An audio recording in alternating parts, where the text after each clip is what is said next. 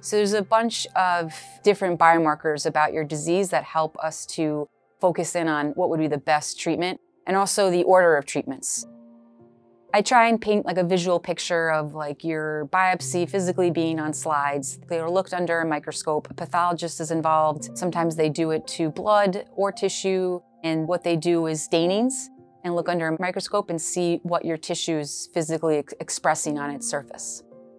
There's MSI, TMB, EBV, the Claudin family. ctDNA is something that we look at, next generation sequencing.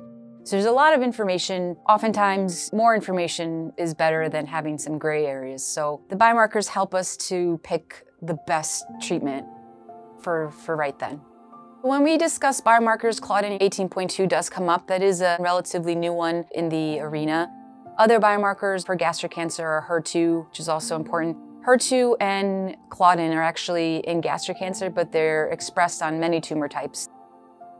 If patients want further resources on biomarkers, I definitely recommend searching the internet, but for reputable sources. So cancer-specific journals, specific government or educational resources, so like .edus, .gov, .org.